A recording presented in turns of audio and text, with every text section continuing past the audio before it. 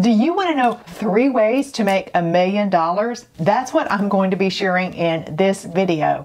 Hi, I'm Camille Gaines here on my channel and on my website, retirecertain.com. I share what I learned on our somewhat crazy adventure from financial uncertainty to financial independence after sort of stumbling into early retirement. And we did this with mainstream investments, traditional investments like stocks and bonds, as well as non-traditional, altern more alternative investments. Okay, so in this video, I want to share with you three ways you can make a million dollars. If that sounds good to you and you like the idea of that, make sure you click the thumbs up below this video. And if you like this information, make sure you subscribe to my channel and also click that little bell so you'll get notified when I post new videos. All right, now let me get started with these three ways to make a million dollars. The very first way to make a million dollars is with traditional investing, right? We all are familiar with investing in stocks and bonds. If you invested $1,000 a month for about 26 years, that would grow to over a million dollars at the end of that 26 years if if you were earning about an 8% average return on your investments. Now, the average return on your investments bit, as you know, and I've talked about this a lot here, is a little bit tricky because we don't know what our investments are going to do in the future. And we sort of use past data to see what might happen. A lot of that depends on what happens in the markets and the timing of the investments and whether you're in stocks or bonds or other investments. But for simplification, let's just say that you were able to earn about 8% a year on your investments after 26 years, if you saved $1,000 a month, you would have over a million dollars. Now, I get that 26 years is a really long time, right? Been, been there and done that, right? As you can see. So 26 years is a super, super long time to build wealth. And that's, I guess that's one of the reasons I'm inspired here with my channel and to, that inspired me to start my channel is so much of the focus is on long-term investing. And you may not have 26 years before you want to get that million dollars, right? Nevertheless, this can be a great approach if you're younger and you're disciplined. And the great thing is, it doesn't take a lot of knowledge or skill to do this. It can be done with a fairly simple asset allocation model. Now, having said that, there's so much more to say that about that that I won't go into in this video so I can get to the other two ways to make a million dollars.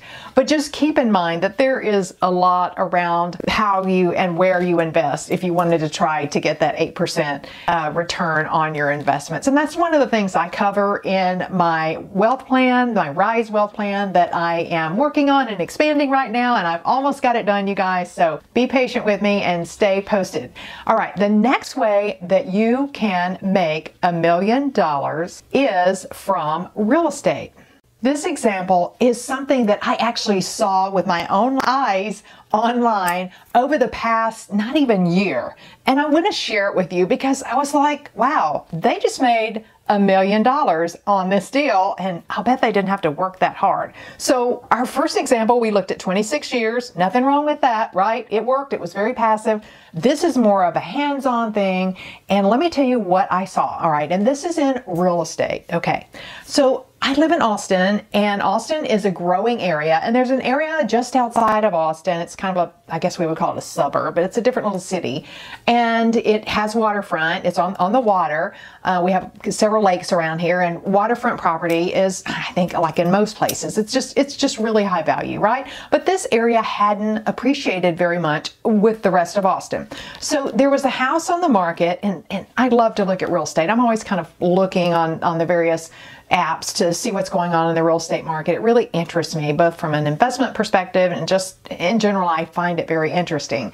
And this particular uh, property was on the market for a really long time. They had a hard time selling. It was several months, uh, at least one open house, if not a couple of open houses. And they finally sold it for $410,000. This property had two houses on, on the one lot, so they were selling them together. One was a little bit larger than the other one, and I guess one would be sort of more like a guest house, okay? So $410,000 in December of 2019 this property sold, right? All right. I noticed in August, one of the houses, the larger of the two houses, had sold for well over a million dollars. Now, it wasn't, when I say well over a million, it, it was not to million one, but it was somewhere between a million and a million one. Okay. All right, that was for one of the houses, and they had paid 410000 for the property only, what is that, nine months early or something like that?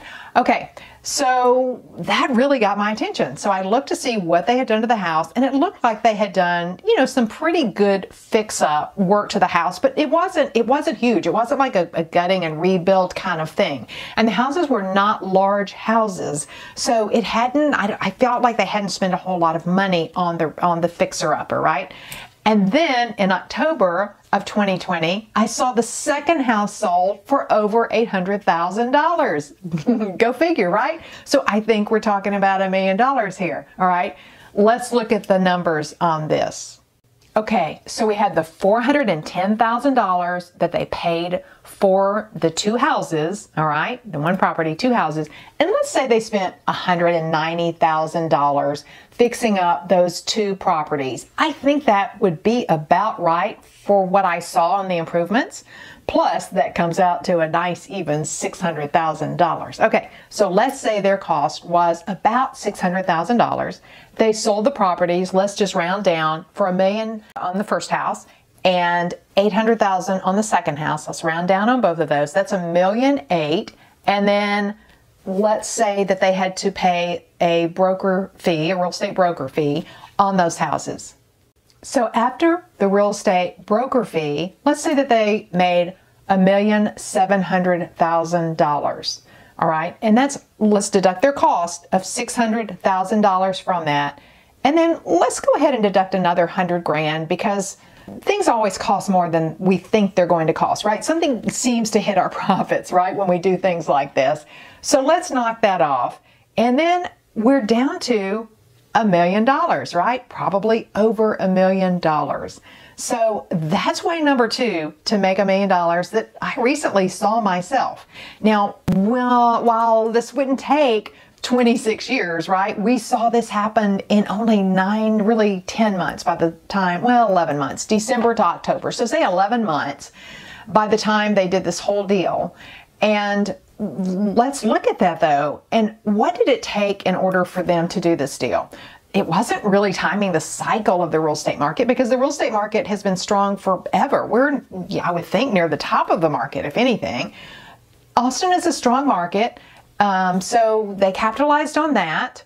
And they also just were really good at finding undervalued properties. And that's one of my favorite ways to invest is undervalued assets. So that's what they did. They found an undervalued asset and they took advantage of it. And granted, they probably are doing this. This probably isn't their first rodeo. In other words, they're probably doing this and, or and or have done this before. So they have some skill in this area, right? Nevertheless, that was a pretty cool million dollars. All right. Then I'll share with you the third way to make a million dollars. This third way to make over a million dollars is to start an online business. All right. I know that everybody's promoting online businesses, but I see people making everything from a few hundred dollars a month within a fairly short period of time. You know, a lot of people making two, three, four thousand dollars a month, all the way up to these examples that I'm going to show you of people that are just regular people like us that have made a lot of money simply by starting a blog. The first example is Heather Delaney Reese. She started a family and a lifestyle blog, and in 2019, she made over two million two hundred something thousand dollars, right? In that one year you know that that there was well 2 million right? It wasn't 1 million it was 2 million. And that was because she started out as a blogger. She started out writing about her lifestyle and her family. That's example number 1 example number 2 Sven Lennartz and Vitaly Friedman started Smashing Magazine. In 2017 they made about two and a half million dollars just in that one year. They started out writing about technology stuff, about online business, about websites, and it became this large website or highly profitable website, I should say, say making a lot of money. All right, the third example I want to share with you comes from Michelle Schroeder Gardner. She made over a million five hundred thousand dollars in 2018 from her financial blog that she started as a hobby called Making Sense of Cents. So that's three examples of just regular people that have made over, well over a million dollars in just one year. So out of those three bloggers, Two of them made over $2 million in one single year. Now, granted, they've been at this a long time, right? This wasn't a, you know, get rich quick scheme. Nevertheless, they started blogging. I'm very familiar with Michelle. She's a financial blogger and she lived in an RV and with her dogs, right? While she was doing all of this. So this shows us that this is very, very doable. Okay, each of those examples made well over $10,000 a month, right? But let's just equate this. Let's take this back to that very first example we saw where someone saved $1,000 a month for 26 years at, and it earned 8% then they would have over a million dollars at the end of that 26 year period. What if someone sort of combined these models and they started a blog like these three examples did and they made mm, 10,000 a month, which I know is a whole lot, but it's way less than these people were making. And what if they saved that money, they invested it, and they were able to make 8% a year? How long would it take them to get to over a million dollars? By saving that money they're making from blogging. It would take about seven and a half years to do that. Look at the difference in that. So the more you save, obviously, you're thinking, Camille, don't leave any nasty comments, the more your money grows. But also, if you can add an extra income stream, maybe a little alternative income stream that's outside of mainstream thinking, maybe that could make a huge difference for you as we've seen in this example. Thank you for watching this video. If you like it, make sure that you watch this video next.